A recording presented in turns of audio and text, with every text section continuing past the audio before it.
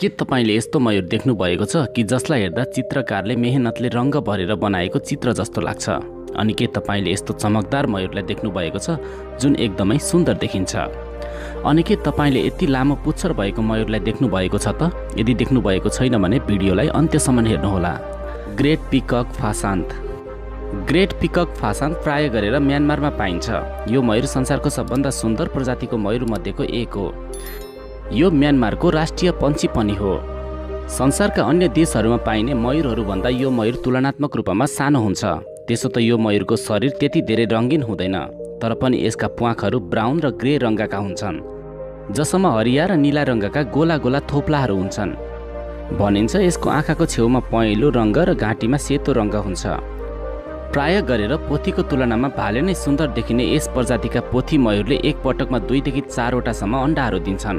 भनिन्छ यस प्रजातिका मयूरहरू करिब सत्तरीदेखि अस्सी सेन्टिमिटरसम्म लामा हुन्छन्। प्राय गरेर ससाना छेपा र माकुरा किरा र विभिन्न प्रकारका फलफुलहरू खान रुचाउने यो पन्छी एकदमै सुन्दर हुन्छ। वाइल्ड पालावान पिकक। वाइल्ड पालावान पिकक प्राय गरेर फिलिपिन्समा पाइन्छ। यो पन्छी संसारको सबभन्दा सुन्दर मयूरको प्रजाति मध्येको एक हो। यो यतिसम्म सुन्दर हुन्छ कि यसको एक झल्कोले सबैलाई मन्त्रमुग्ध बनाउँछ। यसको शरीर विभिन्न रङ्गको हुन्छ भने यसको आँखाको वरिपरि सेतो रङ्गको घेरा हुन्छ।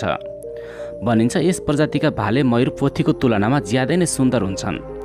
प्राय गरेर खैरो रङ्गको शरीरमा काला रङ्गका धब्बा हुने यसको पोथी खासै सुन्दर हुँदैन। यसको भाले चाहिँ रङ्गी बिरङ्गी र सुन्दर हुन्छ।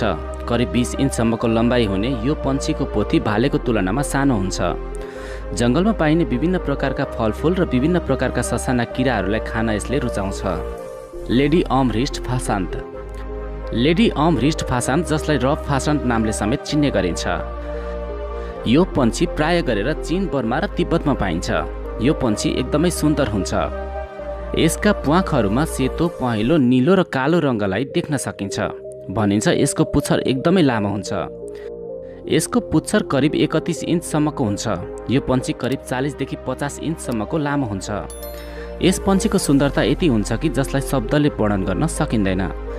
साथी हो आजको भिडियोमा हामीले संसारका सुन्दर मयूरका प्रजातिहरूको बारेमा तयार पारिएको भिडियो सामग्री प्रस्तुत गऱ्यौँ। तपाईँहरूलाई आजको भिडियो कस्तो लाग्यो? कृपया तपाईँको विचार कमेन्ट गर्नुहोला। आगामी भिडियोहरूमा पनि फेरि तपाईँहरू समक्ष हाम्रो भेट हुने नै छ। त्यति बेलासम्मको लागि हामी तपाईँहरू समक्ष बिदा चाहन्छौँ। हस्त नमस्ते।